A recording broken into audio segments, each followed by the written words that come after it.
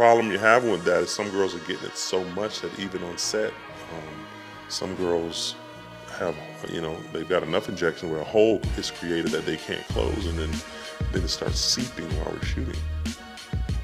This is a problem, you know. That's when you start really looking at it, going like, wow. Then uh, I remember one girl came on set. She said she always wanted to shoot in the magazines, always wanted to be in it. She's tried multiple times. She was a beautiful girl, but the problem was, you know, she had somewhat of a pancake butt. What did she do?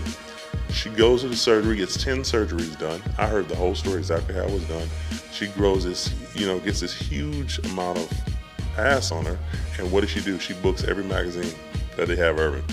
You know, this is where it gets very interesting because this girl couldn't get a job until she got the injections. She gets the injections and bam. So what did she do? She told her friends, hey, look, I couldn't do it. And now I went and did it and blah, blah, blah. Now I got every gig. So what does her friends go do? Put one on me. And I mean, this thing, this is how it's growing. They, they couldn't get in and then they did it and got in. So why would you not do what it takes to get in. If it's called getting some fat transfer, it's natural. That's a fat transfer. Then why not do it?